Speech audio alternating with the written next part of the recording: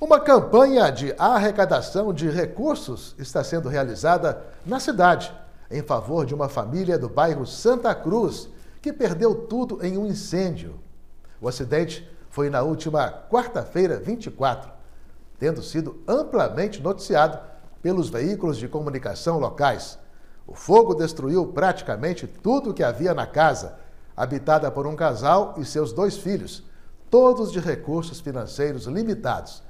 Quem puder ajudar na reconstrução do lar e na reposição do material perdido, qualquer doação será bem-vinda.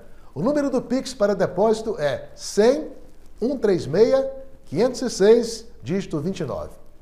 100 136 506, dígito 29. Não deixe de contribuir, tá?